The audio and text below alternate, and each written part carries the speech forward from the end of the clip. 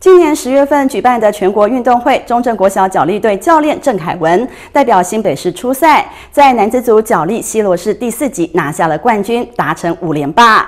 能够有如此优异的成绩，靠的是他一直以来的坚持。尤其现在身兼教练与选手两种身份，这次参赛更让他倍感压力。直到最后的获胜，才能够真的放松。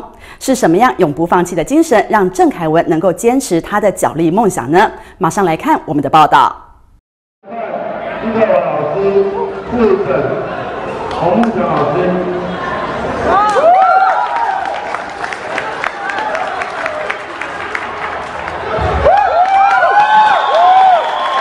举起双手，正背一呼，就是这最后的精彩压制，让郑凯文获得全国运动会男子组角力西罗市第四级的第一名，而这也是他第五次夺下冠军，获得五连霸的优异成绩。谈起了当时的胜利，郑凯文仍是难掩兴奋之情，尤其是在担任国小教练与选手双重身份的情况之下，练习时间不稳定，这股沉重的压力，终于在确定获胜之后，终于松了一口气，非常开心。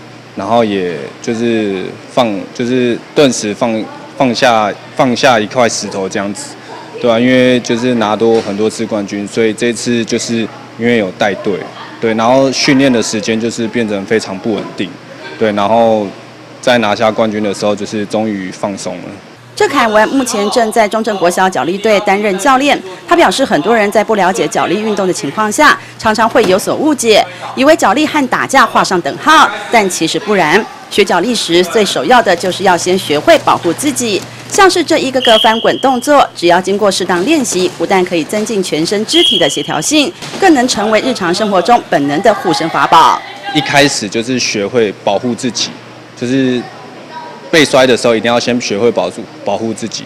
那你在从事其他运动的时候，不妨都会一些跌倒啊、受伤。那其实如果可以用这些运动，然后去借由转换的话，那也是一个另类的保护自己的方式。看着孩子们练习这些基本功，一点也不能马虎。郑凯文说：“脚力改变了他的一生，从国中加入文山国中脚力队，接着进入安康高中、国立台湾体育运动大学。这一路走来，他靠着喜爱脚力，全力以赴参加比赛，一步步达成目标。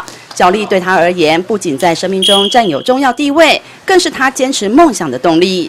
改变我一生。”对，因为从小就是不喜欢读书的小孩嘛，对，然后刚好就是到国中之后认识脚力运动，然后慢慢的就是借由脚力这个运动，然后读到公立的高中，然后就是在就是考上公立的大学，然后借由比赛让自己有一个目标，对，然后借由这个目标。变成自己的动力。